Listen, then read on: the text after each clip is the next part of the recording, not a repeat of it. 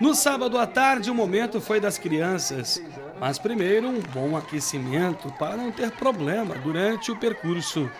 Depois, a largada na Praça Presidente Vargas. A corrida Kids foi para atletas a partir de 4 anos. 100 metros, 200 metros e 300 metros. Foi uma festa. Da chegada, destaque para o atleta Murilo, que, mesmo sendo cadeirante, participou do momento, acompanhado de sua mãe. Ao final, medalhas foram entregues aos participantes.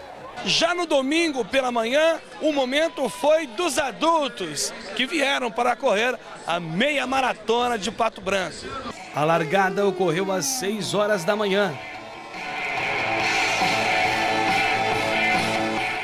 Os quase 700 participantes partiram para o percurso pelas ruas da cidade.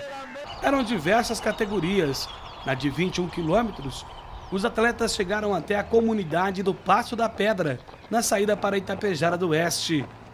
As ruas foram bloqueadas e sinalizadas com auxílio da Polícia Militar e Depatran. Nesse ponto de rodovia, a Polícia Rodoviária Estadual esteve auxiliando. Nos locais ermos, os animais foram surpreendidos com aquela movimentação toda logo pela manhã. Esta coruja estava atenta. A corrida continuou. Na chegada na Praça Presidente Vargas, os atletas demonstraram muito cansaço, sinal que a corrida exige demais. A primeira colocada no feminino já está chegando, é a matogrossense Gabriela Rocha. Como a prova tem um percurso bem difícil, bem com muitas subidas, tentei fazer uma prova mais conservadora, correndo junto com as meninas até o quilômetro 14. E daí então eu comecei a abrir um pouco delas, mais para finalizar e para vencer mesmo. No masculino, vitória de Paulo Alves, de São Paulo. Sua mulher ficou em quarto lugar no feminino. Uma vitória em família. Paulo também falou sobre sua estratégia na corrida. Já saí junto com o pelotão da frente, né? Aí vi que no quilômetro 2 a prova estava para mim, né? Tava rodando fácil. Aí resolvi fazer meu ritmo. Aí imprimi meu ritmo e fui abrindo.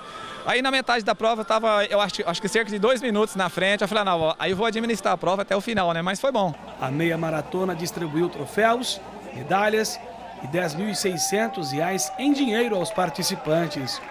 O evento arrecadou fundos para o Banco de Leite Materno da UTI Neonatal do Hospital São Lucas. Com alguns recursos que vem, a gente vai melhorar algumas coisas do banco de leite e isso vai melhorar a situação dos prematuros que vão depender desse leite humanizado. Na linha de chegada, mais uma surpresa.